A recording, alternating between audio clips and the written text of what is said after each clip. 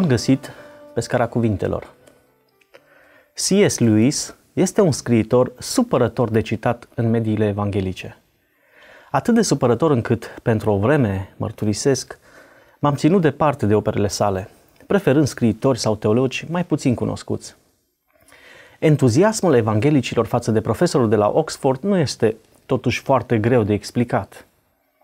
Lewis este reprezentantul unui creștinism laic, neinstituționalizat.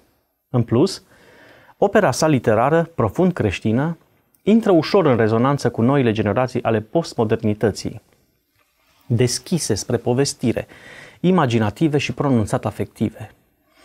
Dacă la un contemporan al său, precum John Stott, creștinismul este aproape exclusiv rațional, la Lewis, el conține elemente care activează imaginația și afectul subiectului.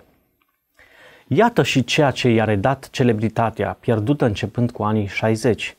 Opera literară, nici de cum eseistica teologică sau emisiunile radiofonice despre un creștinism pur și simplu. Să nu anticipăm totuși. Alistair McGrath, profesor la Universitatea Oxford din Marea Britanie și cunoscut apologet creștin, scrie o foarte documentată biografie a autorului cronicilor din Narnia cu titlul C.S. Lewis, O viață.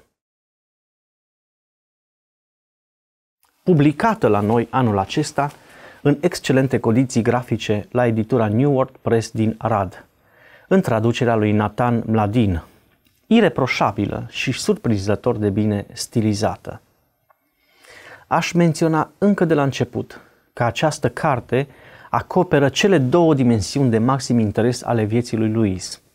Dimensiunea intimă, ce ține de zona lăuntrică, și dimensiunea livrescă, ce ține de creația literară, ori eseist teologică. În acest al doilea caz, am fost plăcut impresionat de capacitatea autorului de a sonda, critic, opera profesorului de la Oxford, lăudabil fiind, desigur, și efortul uriaș investit în documentare. Așadar, țin în mână o carte excepțională, prin formă și conținut, adresată atât amatorilor cât și specialiștilor, fie că sunt sau nu fani împătimiți ai cunoscutului scriitor englez de origine irlandeză. Ei da, C.S. Lewis a fost irlandez, lucru pe care, ne spune autorul, irlandezii par să-l fi uitat, dacă îl vor fi știut vreodată. S-a născut în iarna anului 1898 la Belfast, ca fiu al unui avocat jurist și al unei fiice de cleric, și a copilărit într-o casă nouă la periferia aceluiași oraș, alături de fratele său Warren Lewis, printre teancuri de cărți. De altfel, cărțile, sau mai exact, părți din conținutul lor, o poveste ori câteva versuri, îi deschid poarta către un tărâm nou și fermecat – către ceea ce avea el să numească bucurie. Dorința neîmplinită, mai dezirabilă decât orice altă satisfacție.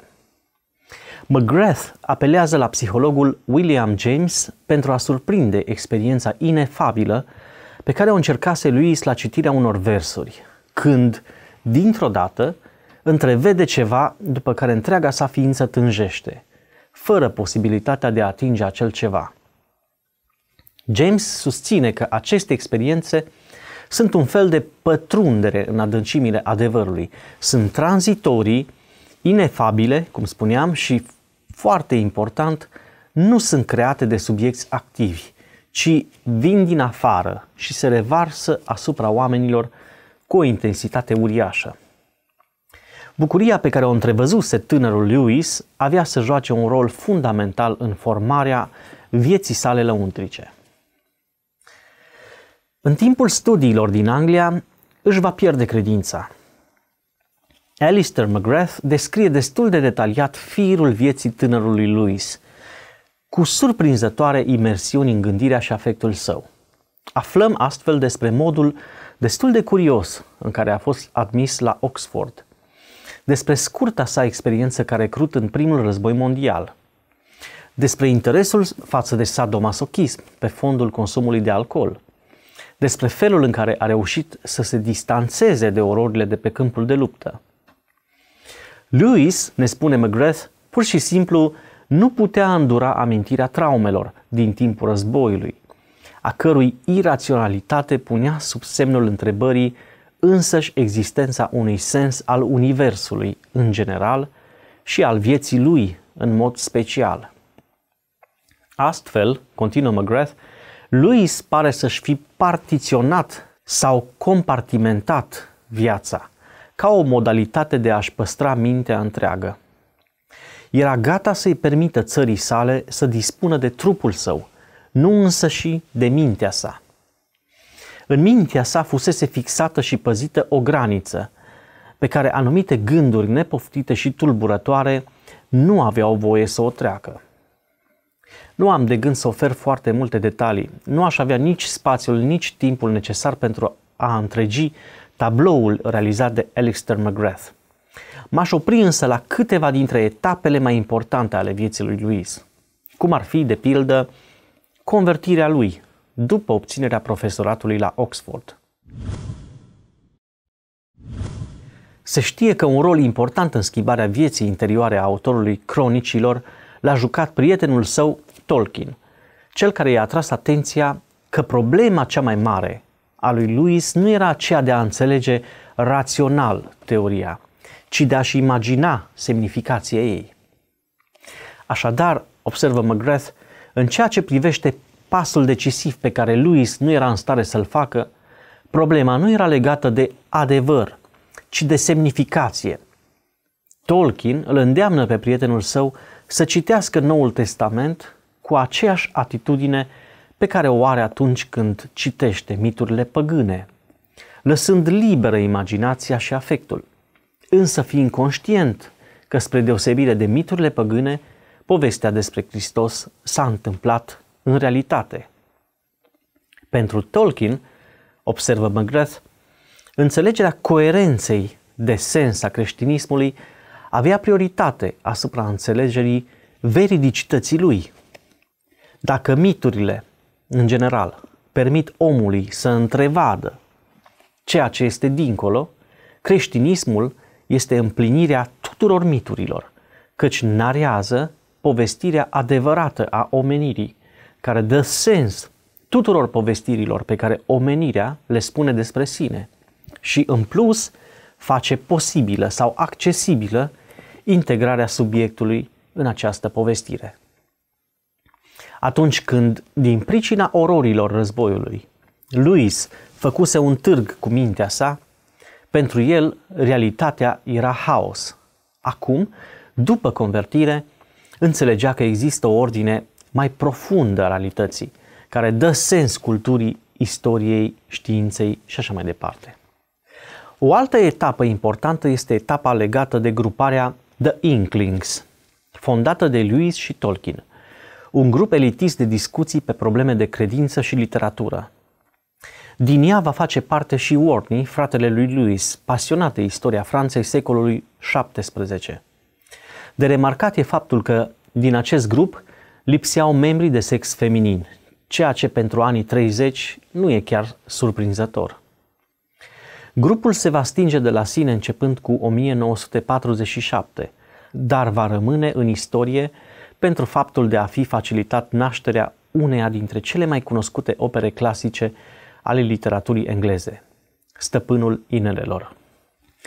McGrath inserează în această parte a cărții perspectiva lui Lewis asupra literaturii. Aflăm astfel că profesorul de la Oxford considera literatura trecutului esențială în procesul înțelegerii literaturii ca întreg. Și asta fiindcă literatura trecutului lovește în autoritatea absolută a prezentului. De altfel, literatura prezentului va deveni și ea, la rândul ei, o literatură a trecutului. Literatura, în general, ne deschide ochii și ne propune perspective noi de evaluare și de reflexie. Astfel, după cum spune Luis, citez, ochii mei nu sunt îndeajuns. Voi căuta să văd și prin ochii altora. Citind literatură de calitate, devin o mie de oameni, rămânând totuși eu însumi. Precum cerul nopții în poemul grecesc, văd cu o mulțime de ochi. dar sunt tot eu cel ce vede. Așadar, nuanțează McGrath și dați-mi voie să citez un text substanțial ca lungime și conținut. În concepția lui Lewis, literatura ne ajută să vedem cu alți ochi, să ne imaginăm cu ajutorul altei imaginații, să simțim cu altă inimă pe lângă noastră. Literatura ne oferă o reprezentare a realității, mediată de imaginație, care pune în discuție propria noastră reprezentare. A citi literatură înseamnă a ne deschide către schimbare, a ne deschide față de idei noi sau a ne obliga să le reevaluăm pe cele pe care credeam că e justificat să le respingem. Așa cum remarca Ralph Waldo Emerson, în orice lucrare de geniu ne recunoaștem propriile gânduri respinse. Se întorc la noi cu o anumită splendoare, înstrăinată. Prin urmare, lui subliniază că textele nu doar că ne informează, dar ne și obligă să ne reevaluăm convingerile. A cere ca textul să se conformeze presupozițiilor noastre, modului nostru de gândire, înseamnă a-l forța în propriul nostru șablon, împiedicându-l astfel să ne transforme sau să ne îmbogățească.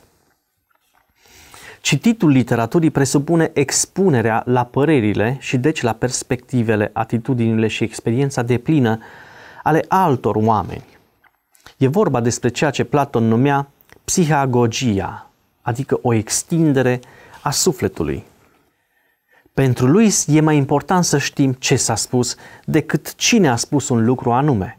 În opinia lui, sarcina criticii literare este să sesizeze intențiile scriitorului, să înțeleagă opera și deci să faciliteze experiența unei îmbogățiri interioare. Pentru Luis, poezia nu atrage atenția asupra poetului, ci asupra ceea ce poetul vede. Poetul nu îmi cere să mă uit la el. Poetul îmi zice, privește și arată cu degetul. Poetul așadar nu este un spectacol de privit, ci un set de lentile prin care privim realitatea. Poetul ne ajută să vedem lucrurile într-un mod diferit. El este cel care ne arată lucruri pe care altfel le-am trece cu vederea. Sau, din nou, nu avem de ce să ne uităm la poet, ci prin poet. Cartea Problema durerii, prima lucrare de apologetică creștină, aduce în prim plan o abordare cel puțin interesantă a bunătății lui Dumnezeu, adesea confundată cu amabilitatea. Citez și de această dată.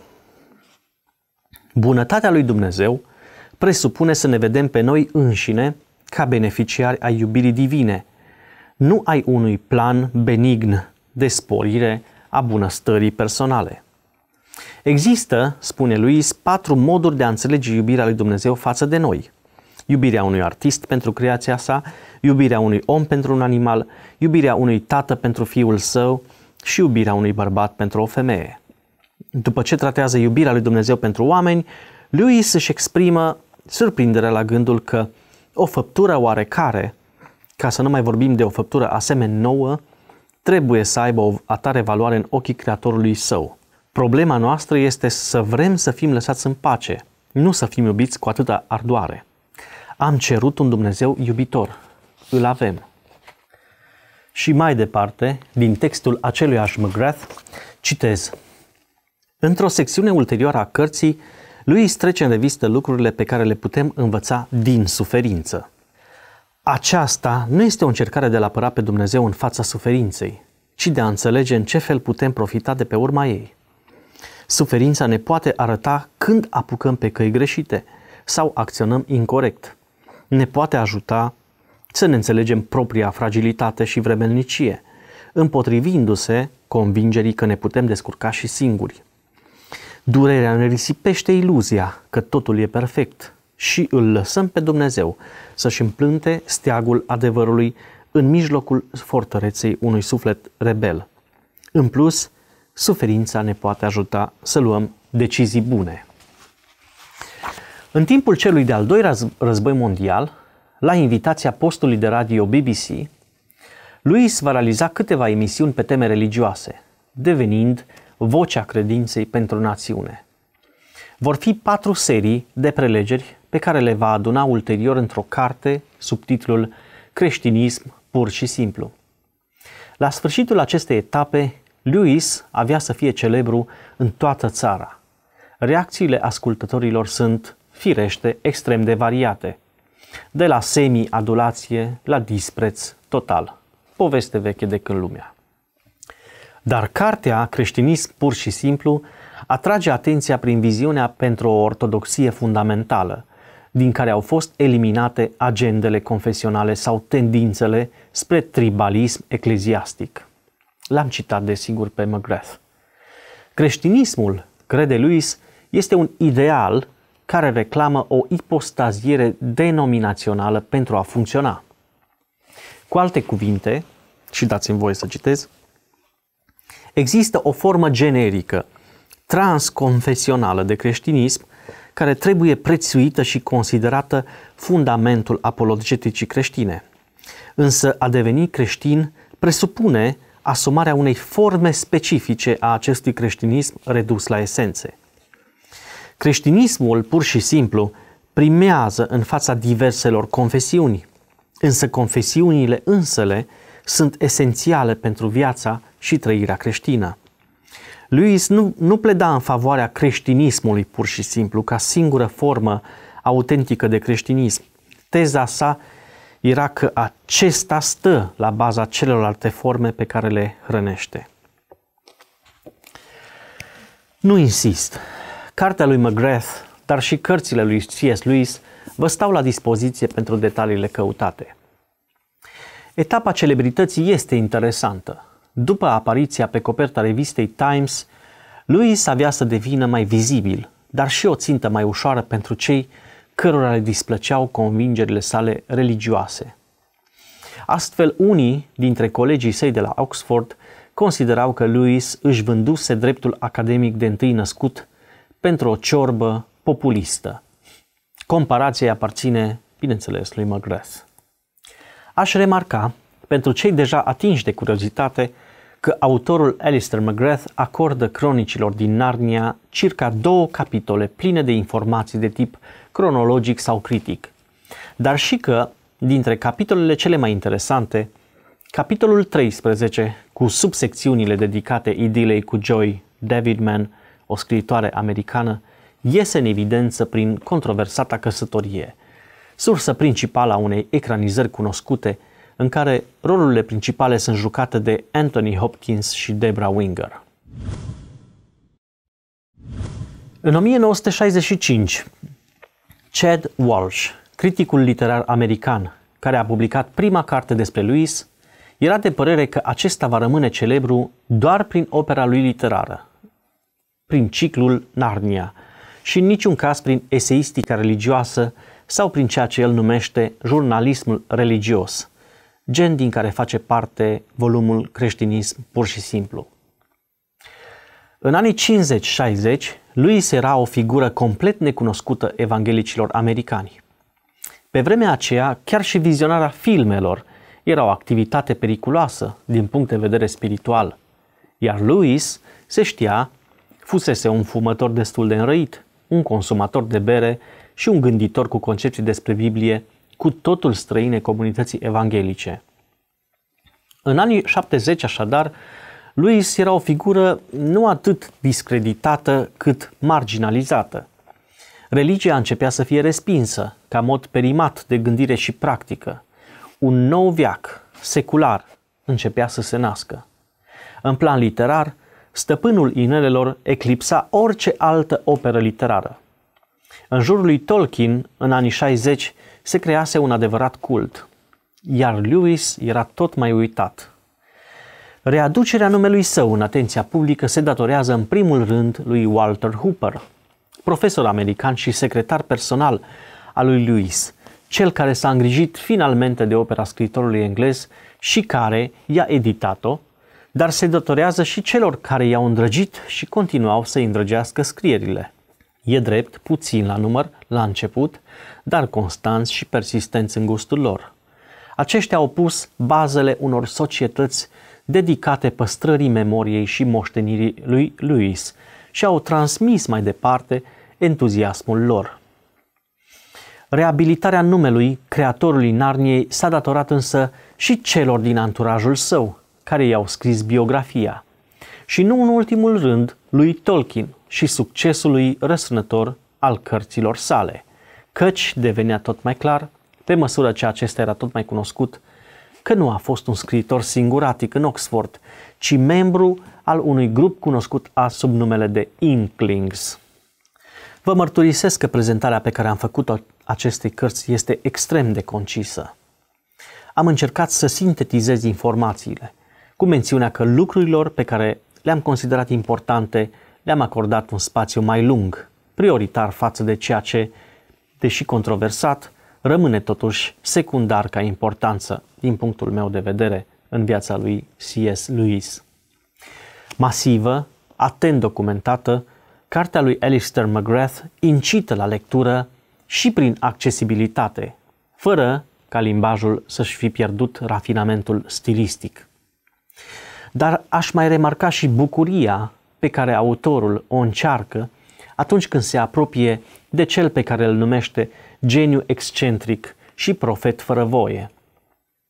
Este, mi se pare, bucuria ucenicului căruia îi se dă șansa și răgazul de a desface în bucăți viața mentorului său, observându-i-o în detaliu și minunându-se de ea ca de un puzzle ale cărui piese sunt pline de uluitoare semnificații.